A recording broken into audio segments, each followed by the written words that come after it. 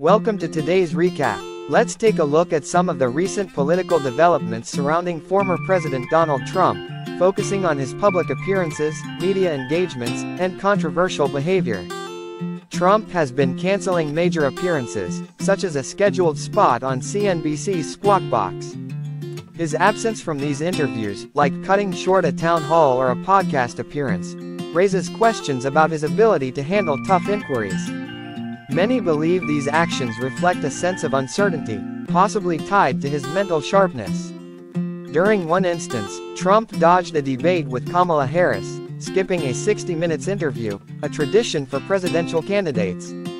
Meanwhile, Harris agreed to be interviewed by Fox News, which demonstrates her confidence and ability to withstand rigorous questioning, something Trump seems to avoid. Trump's erratic behavior has also been a cause for concern. He's made confusing statements, including mixing up countries like Iran and North Korea, and lashing out at media outlets like the Wall Street Journal, which have criticized his economic policies.